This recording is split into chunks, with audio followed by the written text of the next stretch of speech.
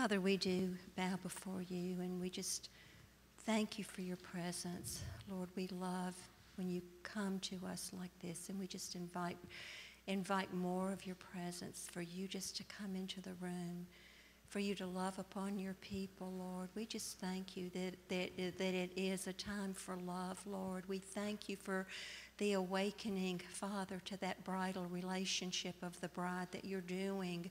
Oh God, we thank you for, for the blossoms are on the vine. That's what I was hearing yesterday, that the blossoms are on the vine. And Lord, you're bringing a rain. You're bringing a new rain of the Spirit upon, upon your people. And we ask for that. We want that. We want an increase of you. We want you in that bridal relationship. That's the desire, Lord, of each and every heart of everyone here.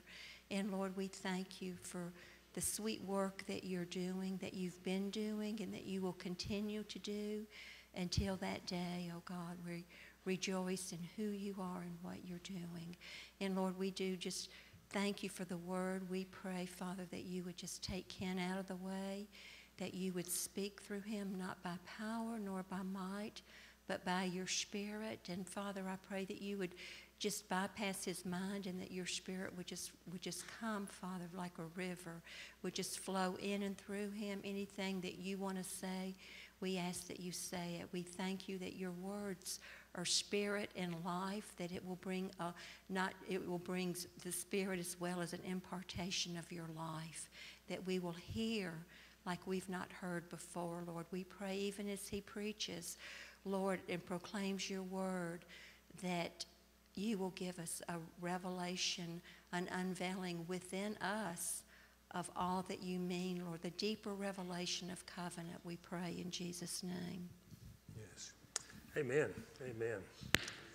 That was really powerful worship this morning. Thank you, worship team. Amen. Let's give the Lord a praise for that. I mean, that was really, really good, and we encountered God through that. Amen.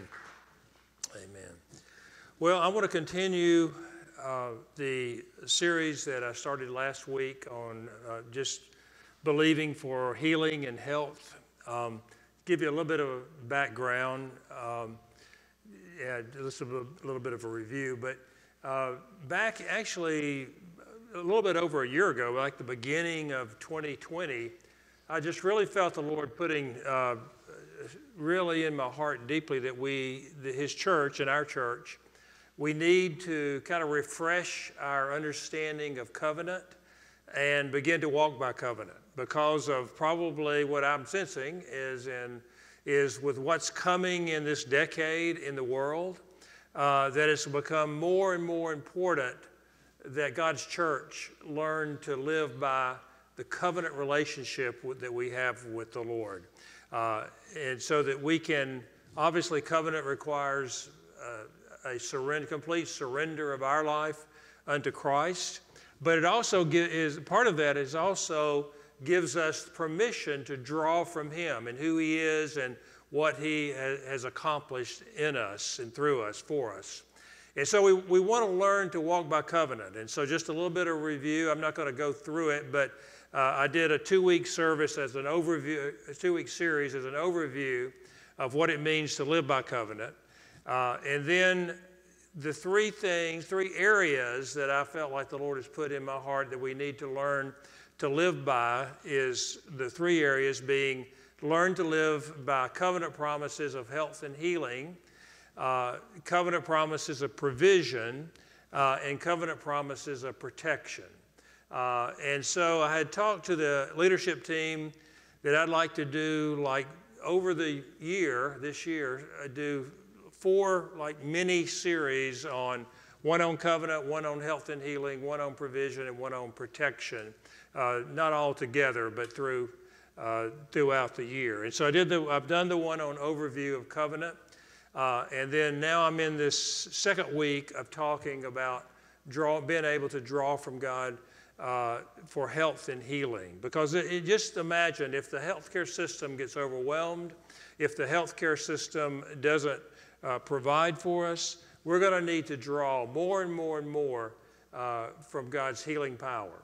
Uh, and it's there in the scriptures, and we want to learn and refresh our faith for that for whenever it is needed. Uh, and so that's kind of where we've been. Um, last week I began by talking about five different threads that run through Scripture uh, that talk about it being God's will that His people uh, live in health, and then when we're not healthy, to be able to call on God for healing. Uh, obviously, not everybody gets healed, uh, but we all get healed when we go to heaven, for sure. But the more we can believe in God's promises for health and healing, uh, the more we'll walk in it now, the more we'll walk in it in this life. And so we want to stir the fresh that, that faith, to live by covenant promises in this series, the specific promise of living by health uh, and healing. Uh, so that's kind of where we are, and we talked about five. We, we only got through three of the threads. We talked, there are five themes that kind of run through Scripture that speak about it being God's will that we live by he- in health and healing. And we talked about three of them uh, last week. We talked about uh, the fact that because of covenant, we can call on God for health and healing. It's one of the covenant promises, and we won't go back in over these other than just to mention them. But one of them is that we can, we can live, uh, the covenant relationship includes health and healing. The second th- theme or thread is that God's character, uh, most of these either start with a C, covenant and character, uh, that God's character uh, in his nature is to heal. We talked about the name Jehovah Rapha, uh, and you know, with the Hebrew names in that, in that day, the name represented not just a, a designation, but it also represented the nature uh, of, the, of the person. And so part of God's nature is Jehovah, Jehovah Rapha. He says, I'll put none of the diseases of Egypt upon you if you'll walk with me and walk in obedience to me. And then the third one we talked about last week was compassion. We talked about the fact that God is a compassionate God, that when He sees His people in need, now listen to this, this is so important. When He sees His people in need, it stirs His heart, it touches His heart. And, it, in many cases, his compassion caused him to heal their diseases. And we looked at a number of scriptures last week where that is the case. God is a compassionate God and wants to touch his people in their areas of need. So, those are the three that we looked at last week. I want to touch on two more um, and spend whatever time is there. And then we're going to move from there into talking about closing the door to the enemy. And I, I probably won't have time to get into all of it, but uh, we'll, we'll, we'll touch on as much of it as we can. But I want to hit these the last two threads of themes that, that it's God's will that we walk in health and healing. The fourth one, and I'll just mention this briefly, the fourth one is the kingdom. The kingdom. Uh, the Lord has put in my heart, uh, I mean, it's in the, throughout the scriptures, and we've had various seasons where God has done a lot of external miracles. But I really sense that we're entering into a time where God wants to, as the, as the world system uh, gets darker and darker, God wants to release His glory upon His church, upon His people. And part of that is going to be a demonstration of the kingdom of God uh, to, to the world, uh, to the, the lost so that people can see a distinction, a clear distinction between the kingdom of darkness and the kingdom of light. Um, and so there, the scriptures say that the kingdom does not consist merely of words.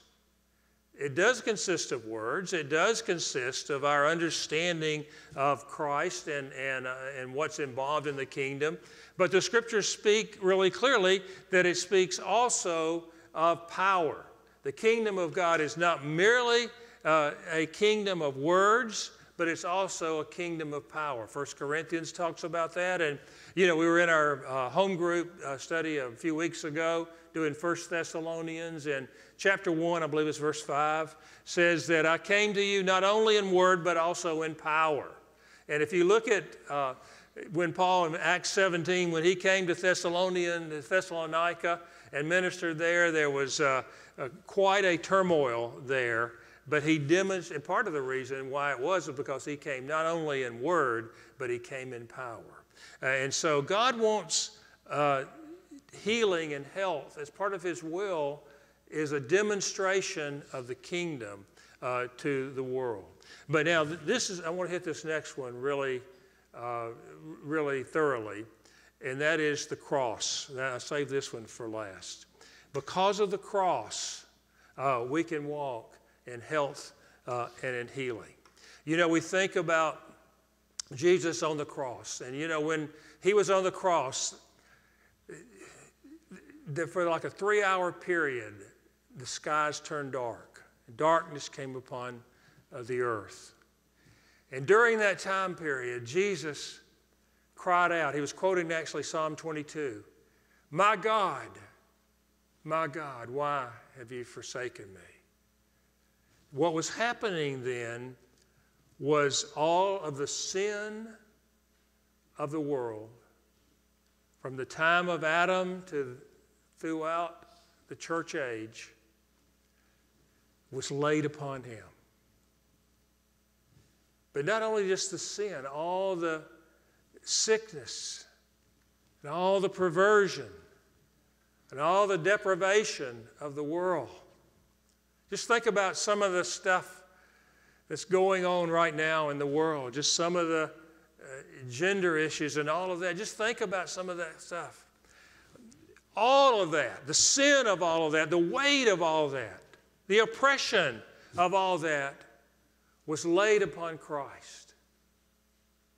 He became the curse. He took the curse of sin and death and the law upon him. That his people might walk in the blessings, Galatians chapter 3, that we might walk in the blessings of God, but not subject to the curses. What a powerful, powerful thing. The cross, the power of the cross. Our Lord, our Savior. He paid the price of the cross, taking the sin, taking the perversion. But a part of that, getting back to our theme, he took sickness upon the cross. He took sickness upon the cross. Let, us look at Isaiah 53. I've got like seven pages of notes of scriptures here, which um, I, the Lord just kind of began to speak to me during the worship. That we're not going to get to all that, but that's okay. Uh, but Isaiah chapter 53, verse 4 through 6. Now, you know, Isaiah 53 is that, that chapter that talks prophetically about about Jesus and the, his death on the cross and all that took place there. But I want to I want to focus in on healing and health in the power of the cross. Uh, Isaiah 53, verse 4. This is in the New American Standard. Uh, Surely our griefs he himself bore, in our sorrows he carried away. Yet we ourselves esteemed him stricken, smitten of God, and afflicted. But he was pierced through for our transgressions, he was crushed for our iniquities. The chastening for our well being fell upon him, and by his scourging we are healed. All of us, like sheep, have gone astray. Each of us has turned his own way, but the Lord has called the iniquity of us all to fall upon him. Uh, when he was on the cross, that took place. Now, I want to focus on verse 4. New American Standard, which most of us probably use, says, Surely our griefs he himself bore. But if you look at it in the New uh, International Version, it reads this way Surely he took our infirmities and carried our sorrows. Now, that word griefs in the New American Standard or infirmities uh, in the NIV, I want to make sure we understand that because that word, that Hebrew word that's in the New American Standard is translated griefs, that word, that Hebrew word appears 24 times in the Old Testament. Now, out of those 24 times of the Old Testament, 22 of those 24 times That word is translated infirmity or sickness or something related to, to sickness. Two times it's, it's translated griefs.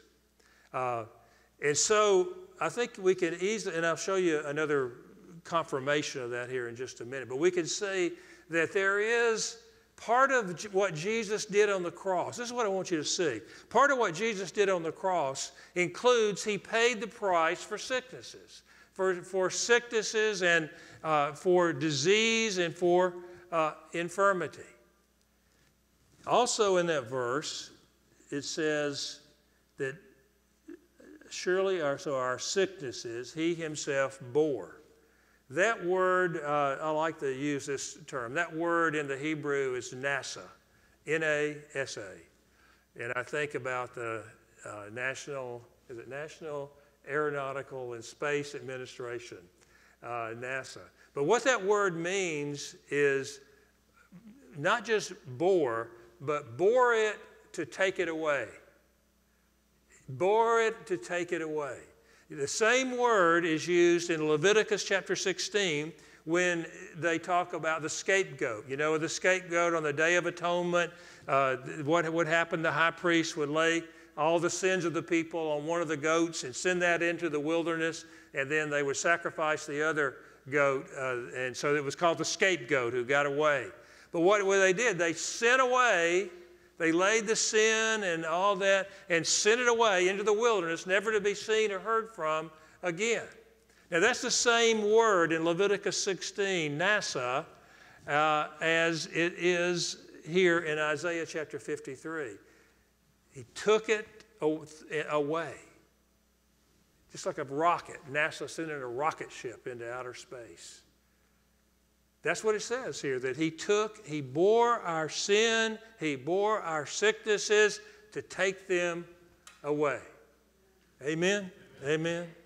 Now, but there's even better news than that. I mean, not necessarily better, but confirmation of that. Matthew 18, verse 14 through 17. I want to, this is confirmation that he's speaking here, included in what he's saying here is health and healing. Matthew chapter 8, verse 14. When Jesus came into Peter's home, he saw his mother in law lying sick in bed with a fever. Uh, he touched her hand, and the fever left her, and she got up and waited on him. When evening came, they brought to him many who were demon possessed, and he cast out the spirits with a word, and he healed all who were ill. So he did so he healed Peter's mother in law and he healed a lot of other people who came to him.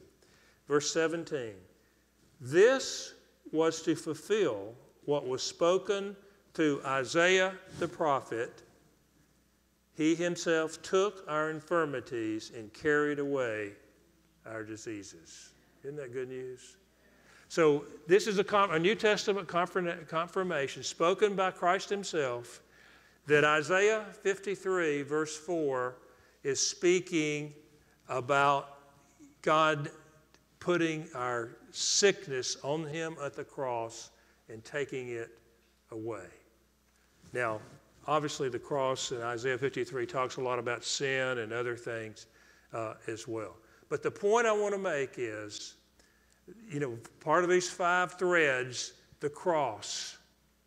The cross includes God's taking away our sicknesses. Yeah. You know, I, this is, I wasn't planning on sharing this, but during the worship, the Lord just put this in my heart I, to go ahead and share. I've been, this whole week and last week too, I've been, I'm writing for the Forerunner School, I'm writing this class on the theology of the bride, where we take some of the stuff that was in the, the A Worthy Bride book and, and some other things and go deeper into it. And so I, this whole week or two, I've been looking at the Jewish wedding practices and, the, and during the ancient uh, days, during biblical days, and trying to see the parallel between those practices and what took, took place when Christ came to earth. And even, even going back to Abraham and, and even Mount Sinai and the, the giving of the law on Mount, on Mount Sinai, all that is related uh, to that. But going back to the, the practices of an ancient Jewish wedding, uh, there was a, there's a lot of things, I won't go into all of it here, but uh, there was a betrothal ceremony, and then a year later, there was the actual marriage ceremony. Uh, but here, here's what I, the point I want to bring out. In those ancient days, the groom to be and the father of the groom, they had to come up with a dowry in order to purchase a wife. I mean, it sounds kind of, uh, I mean, it's not like purchasing property, okay? I mean, it wasn't like that in those days. Certainly it wouldn't be now. But they had to, they had to get a wife, to take a wife, they had to purchase uh, that wife, and they had to, to uh, issue uh, a dowry. And so there was a purchase price uh, for that wife. Uh, and we see that, that what Christ did in order to betroth you and me to him, he had to, he had to uh, pay a dowry. And that dowry was his life. The ultimate price, the ultimate dowry. And out of that, remember, it was to purchase a wife. He purchased you, He purchased you, He purchased me from the slave market, redeemed us from the slave market, and transferred us from the kingdom of darkness to the kingdom of light, that we might be His betrothed. And part of what He did, part of that purchase price, going back to our topic for today is he part of the price he died that we might live he took sickness that we might walk in health. Amen? Isn't that a powerful powerful truth? So there's another scripture I wasn't planning on sharing this either, but the Lord wanted me to bring this up. It, it went a lot right along with Bethany's prophetic song there at the end about rest, and I forgot exactly how it went, but um, from Song of Songs, uh, chapter 1, yeah, chapter 1, verse uh, 12. While the king was at his table, my perfume gave forth its fragrance, and my, and my beloved is to me a pouch of myrrh which lies all night between my breasts. And we could go on, but the point here this is where the bride, the, the myrrh is that burial spice that has a bitter taste that was put on people when they died, uh, but it has a beautiful fragrance. It's what she's doing. She's talking about every night I lay this, this pouch of myrrh from my groom, my bridegroom, on my heart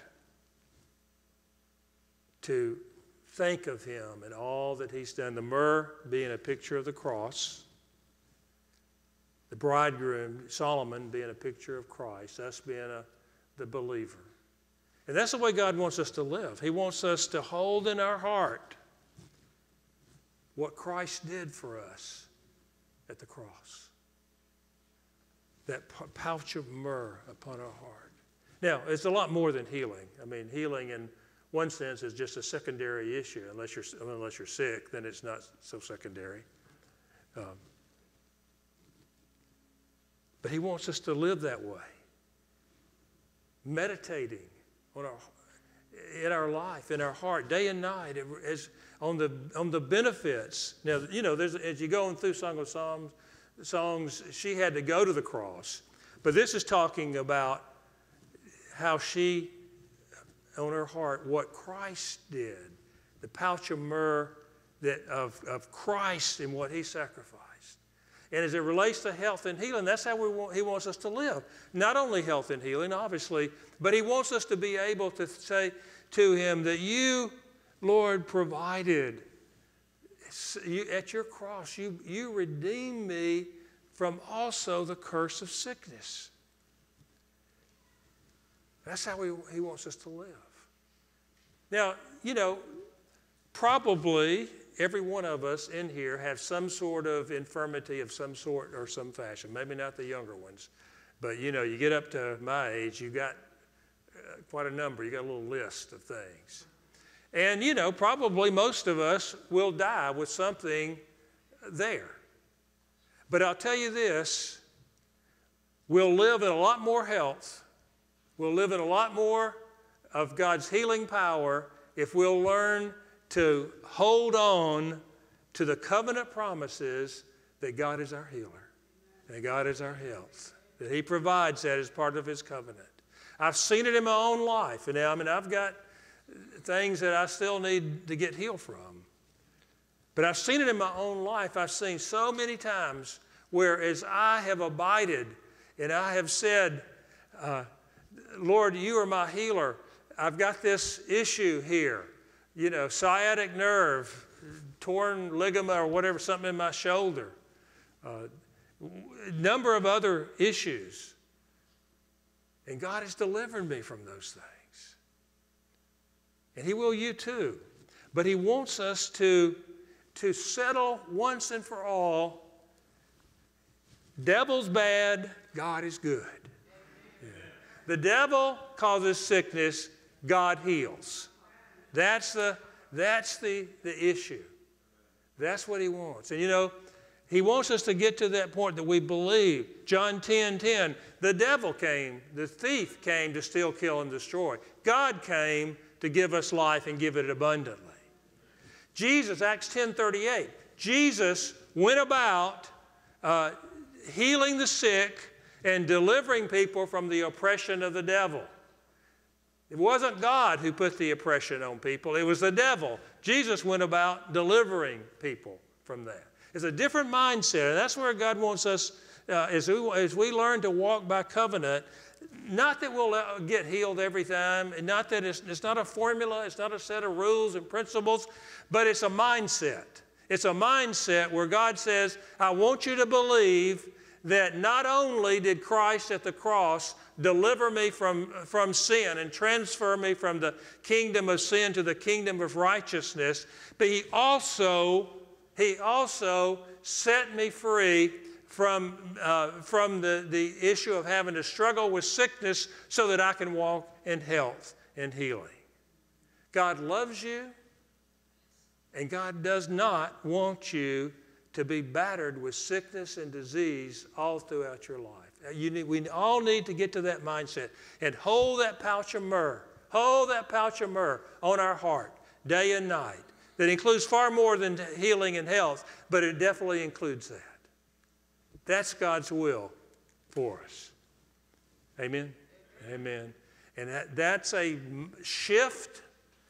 Uh, you know, I mean, just in my own personal uh, testimony of that, you know, I mean, I believe that even long before we even started the church. So back into the 80s, I, I believed uh, that God was our healer, and I confessed it and I declared it. But really, what happened with me is I kind of got uh, away from focus on that uh, because there were other issues. But I believe what God is saying to me, and I think to all of us, is He wants to rekindle rekindle that faith. You know, just we talked about Hosea chapter 6 uh, last week about God has torn us and now He's going to heal us. And so we, we've been through so much brokenness and all of that over the years. Uh, you know, it's so easy to lose that faith for the promises of God. But God is saying, it's time that they be restored. Amen, amen, amen. That's what He wants to do. This is where we are right now in that season.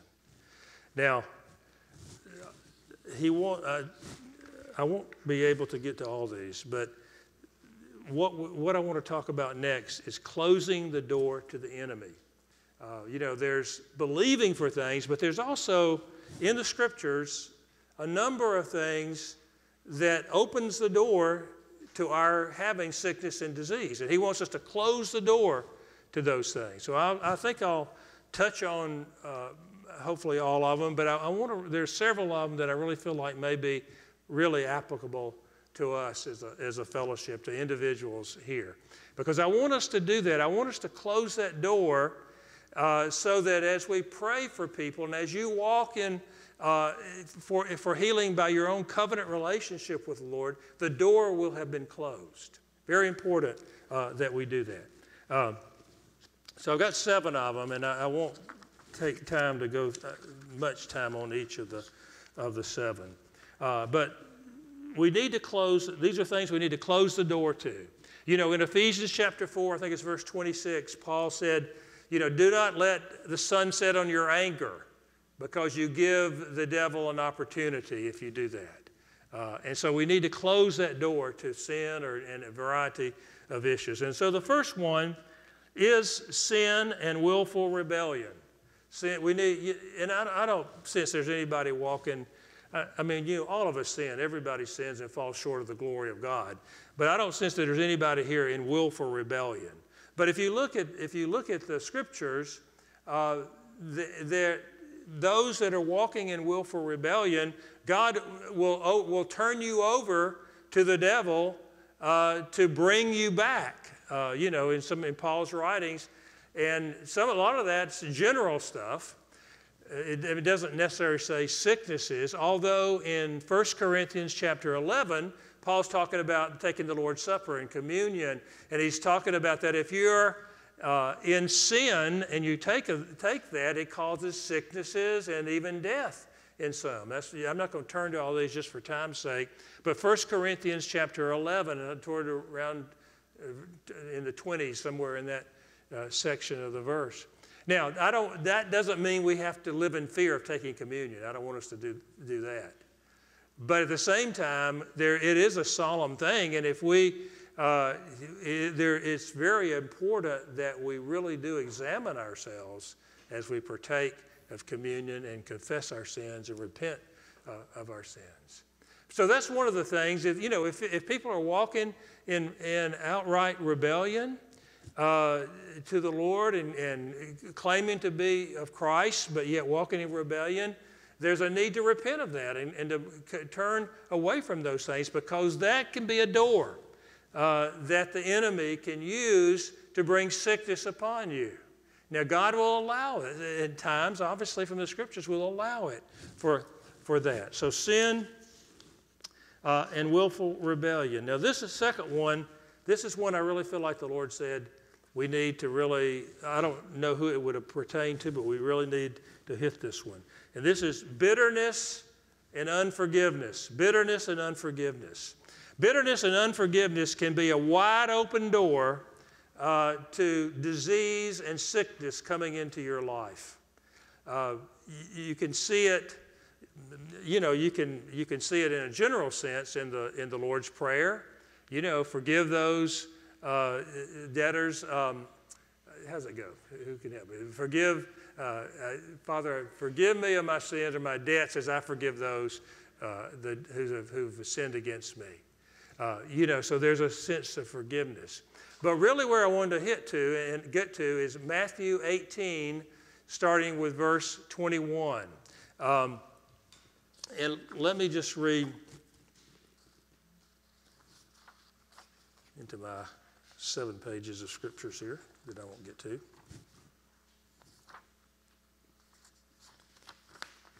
Here we go.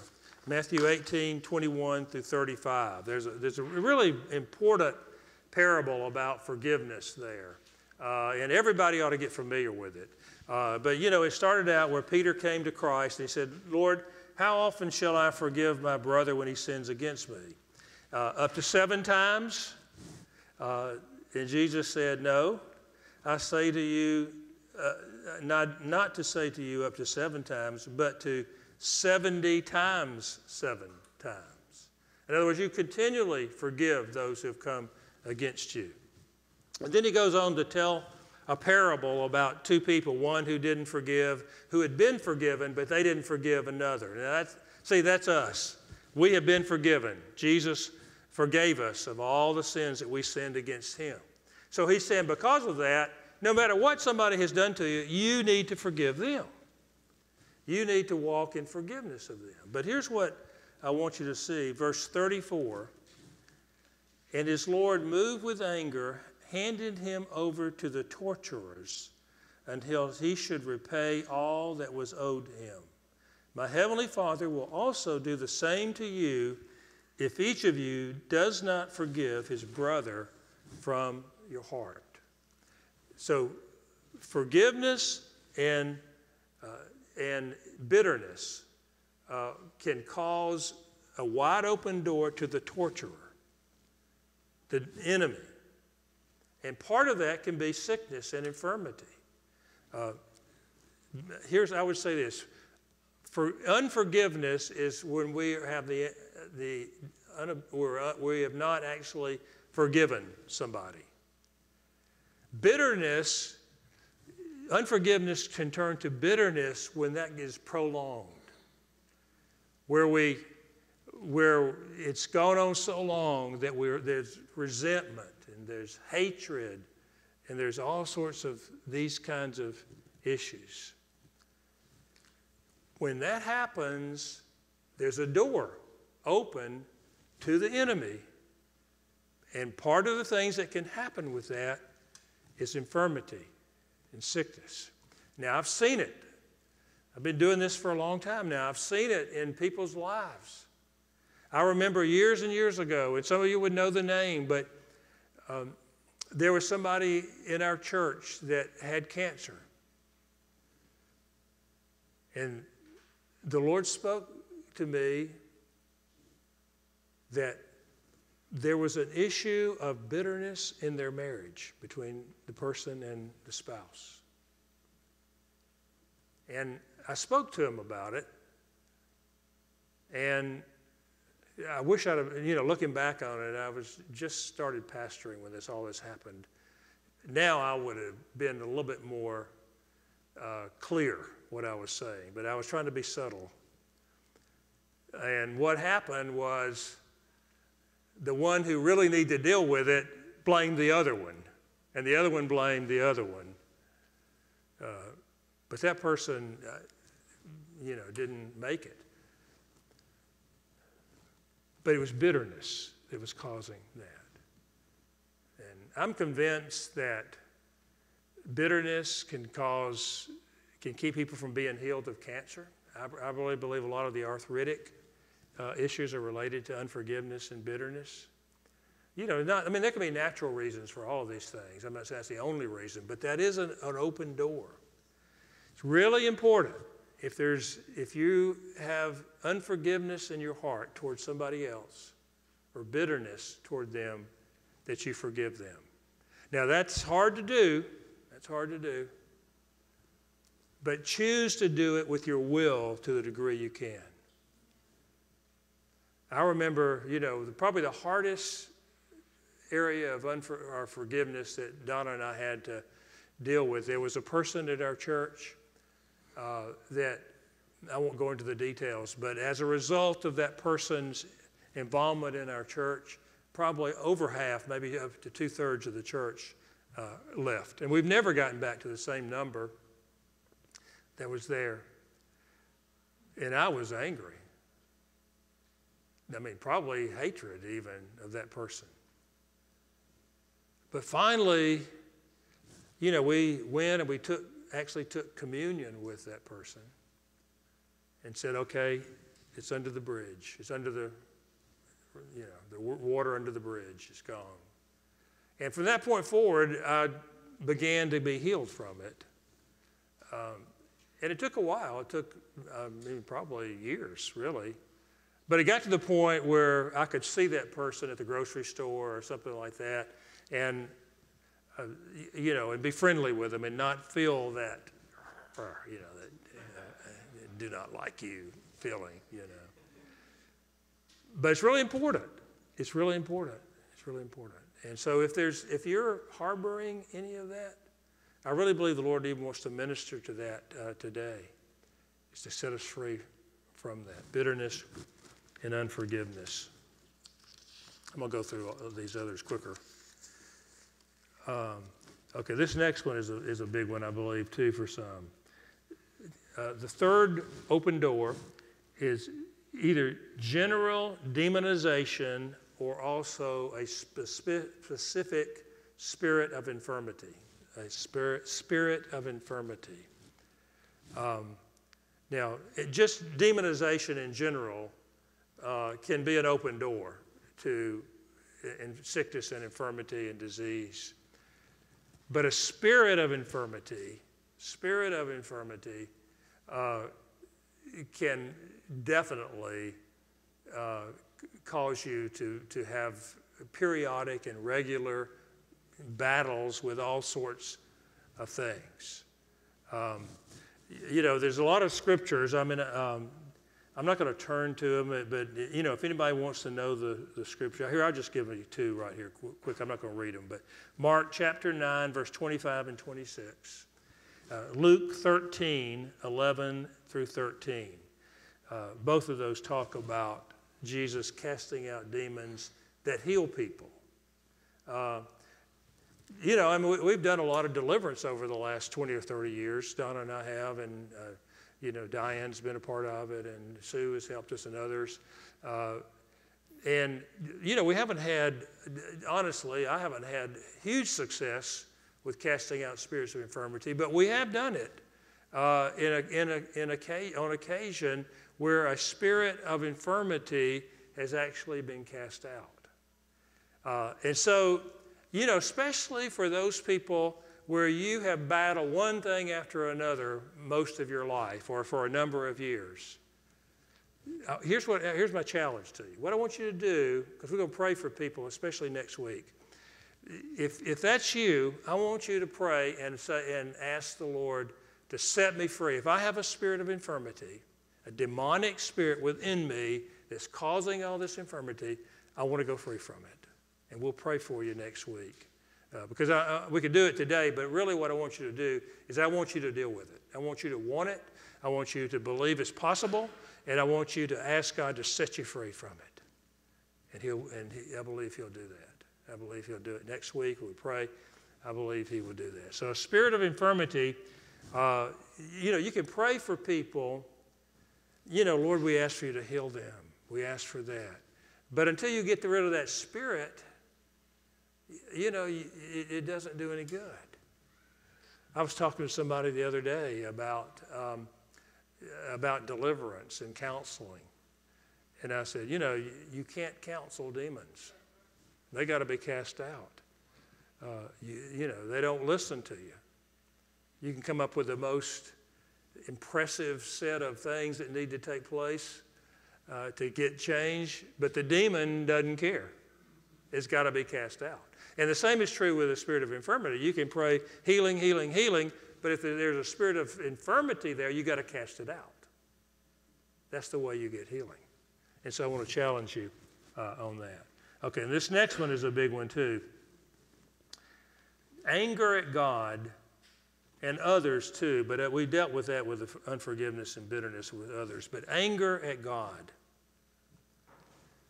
You know, some people, because God has dealt with them bitterly in some ways or whatever, they get to the point that they get angry at God because He hasn't moved the way they want them, them, Him to move.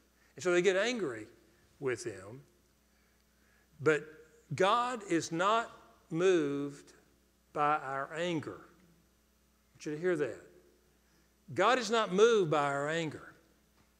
He's moved by faith, our faith, our trust our love.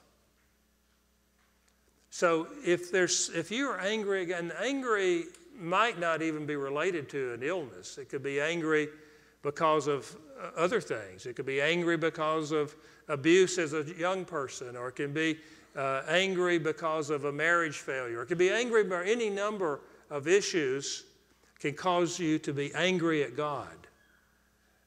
But that can be an open door uh, to the enemy coming in in a lot of ways, but including uh, sickness and infirmity. So, again, those doors need to be closed. We need to repent of that and, and deal with our anger toward God.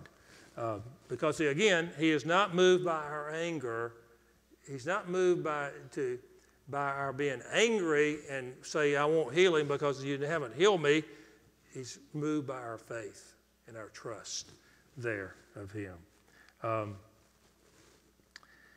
I'm going to move this next one quickly. Generational sin and sickness. Uh, that can be an issue of, of sickness, and we just need to renounce that.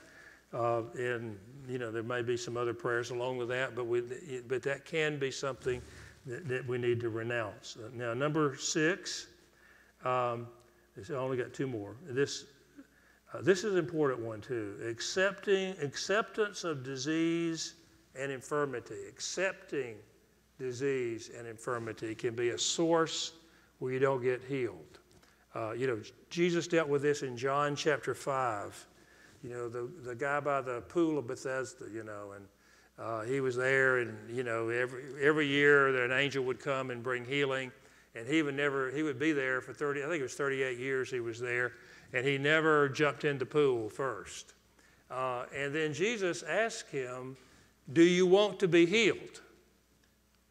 And finally he said, Yes, I do. And then he was healed after that. Uh, now we think, oh, I, I want to be healed. But, you know, do we really? You know, are we fighting the fight of faith to be healed? Or are we accepting it? Could be any number of issues. I mean, sometimes, uh, you know, having some sort of infirmity is kind of like a badge of honor uh, kind of thing. And, uh, you know, other issues related to that. But we have to want it. We have to want it.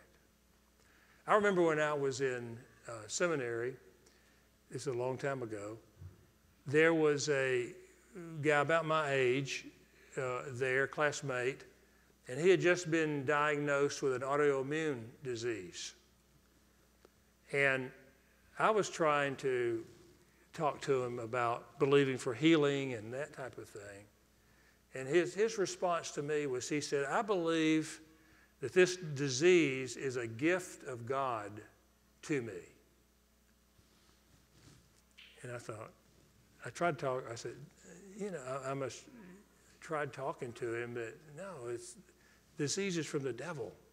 Not, it's not God doing this. Now, God may or may not heal him, but he needed to change his mindset. He didn't, he was thinking, he was thinking God was glorified through this. And, uh, you know, I don't know. I mean, we, I, after a while, I never saw him again, so I don't know what's went on with him. It's been a long time ago. But this is, this is a fairly common thing, and we need to say, no, this disease is not from God. I'm not going to tolerate it. I'm going to fight the fight of faith. Now, God is up to, you know, we can pray, we can believe, we can trust, but it's up to God to do what He wants to do. So I'm not saying it'll automatically mean uh, healing, uh, but, I'm, but I guarantee you, if you don't want it and don't try for it, you won't get healed by God from it. Uh, I mean, medicine or whatever may help or whatever, but whatever it is, but God wants us to, to fight that fight of faith. Uh, and what if it gets to the point where, you know, we can't have, go use the medical system for whatever reason? We've got, we've got to learn to live this way now. Uh, and I guarantee you, it's a lot better. It's a lot better than total dependency on the medical system without depending on God. Now, I, you know, I'm, I'm very appreciative of the medical system, very thankful for that. Uh, and, you know, I use doctors like you do. Uh, but I remember I'll use one, one example. Uh, I had this problem with my sciatic nerve, and for uh, well over a year. And I went to the chiropractor, uh, you know, all the stuff that she said I needed to do and all the, the chiropractor things. And finally, she was referring me to, the, to a uh, orthopedic type person, whatever kind of doctor deals with that, and, and physical therapy and all that kind of stuff.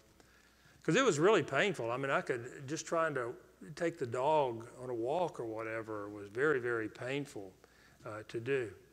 Uh, and then, so I was trying to decide what to do because I didn't really want to fool with all that. Anyway, Terry Bennett came, uh, to, did a weekend conference. I don't remember what, exactly what year it was. Uh, but he had a word of knowledge that God was healing sciatic nerves.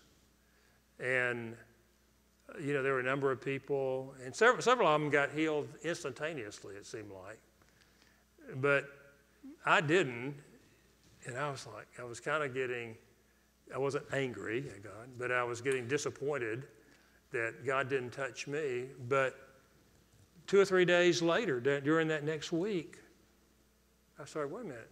It was kind of gradual. I didn't really know. It wasn't anything instantaneous. And I said, you know, my sciatic nerve's not hurting anymore. And, you know, I'm not saying, I mean, every once in a while I have a little tinge of it, but nothing really like it was. So I thank God for that. So you know, but we need to we need to form this paradigm where we believe God is our healer. And that, that whenever we have an issue, that we call upon him for that. Amen? Amen. I've been holding this last one. This, I'm just going to really touch on this last one, but this is an important one. Uh, diet and lifestyle. I'm gonna, I, I, need to call Donna up to talk about this one, actually. Yes. she is my Holy Spirit when it comes to diet and lifestyle. What are you doing? What are you eating there? it's amazing. I can, there can be a, piece of candy, chocolate, in the closet or something. And I get it out. Donna's like three rooms away.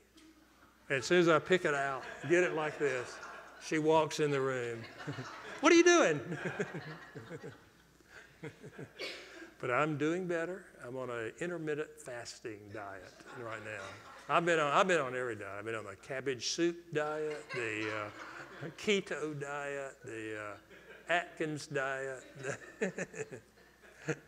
the eat everything, the seafood diet, that's my favorite. Uh, but anyway, enough of all that. But, but it really does, it really is important. Uh, you know, lifestyle and eating healthy and all those kind of things are important too because they can really open the door. Uh, so it's not just like you can live any way you want to and, and then call on God to heal. You know, that's, that's not uh, at all what it's about. You know, God has given us our bodies as the temple of the Holy Spirit, and we need to, you know, honor that, you know, and pursue Him in that as well. So, anyway. So anyway, let's stand up and let's uh, let's pray and see what the Lord would have us uh, to do here. What I'm going to I'm going. Um, I mean, I know several, a couple of people have asked um, if we could pray for them this week because they're going to be out of town or whatever next week. So if you, if you if you're not going to be here next week, we can pray for you for sicknesses, but uh, mainly we want to do that next week. Uh, but what I do want to deal with uh, before we move to any to the healing part, I want to deal with if there is either anger at God uh, or if there's bitterness and unforgiveness in your heart uh, towards someone, then I want you to come to the front when I, I'll pray here first for everybody, but then I want you to come to the front. We want to minister over you there. And it, maybe there's not anybody, but I kind of felt like those two things you really need, there, there really will be some people that need to get ministry uh, there. Uh, the spirit of infirmity we're going to deal with next week because I want you to deal with that privately this week. I want you to do that, and I want you uh, to go free uh, uh, and ask the Lord to go free for that. We pray. So, if you got one of those other things, anger at God or bitterness and unforgiveness, come to the front right now. I want to, but I want to pray. Let me just pray a general prayer and then you can come up. Father, we, we ask, Father, for the mighty move of your Spirit. We ask that we would be allowed to close the door to the enemy, Lord, that we might walk in health and healing. In the name of Jesus, amen. Amen.